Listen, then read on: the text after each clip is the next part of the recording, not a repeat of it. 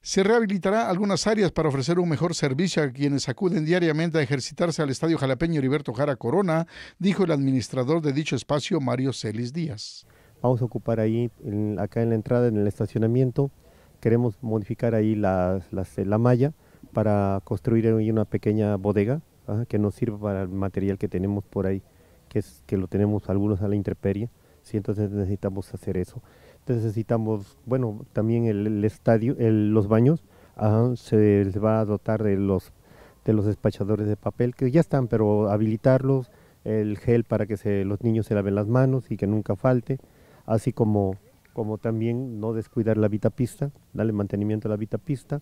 y pues a, hacer cosas que, innovadoras para, para el bien del, del estadio y del atletismo y de los que aquí este, vienen a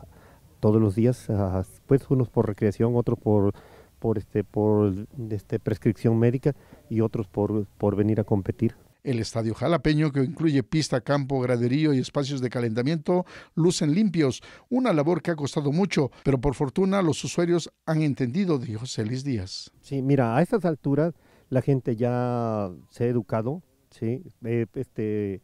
deportivamente vamos a hablarlo, sí, entonces no tira basura, cuida el estadio, cuida los baños, cuida el agua, eh, cuida los carriles, sí, entonces hay sus excepciones, ¿no? Pero la gran mayoría, estamos hablando de un 90%, eh, ya tiene una visión de que es el estadio y lo siente como de ellos también, porque sí, también es ellos, ¿no? De todos los que estamos aquí. Entonces, pues eso es lo que, lo que hemos este, logrado aquí con la gente.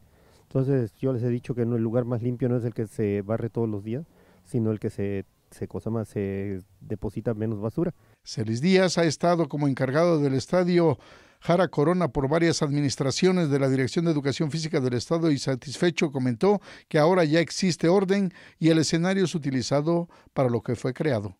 Para RTV Más Deportes, Carlos Serrano Bazán.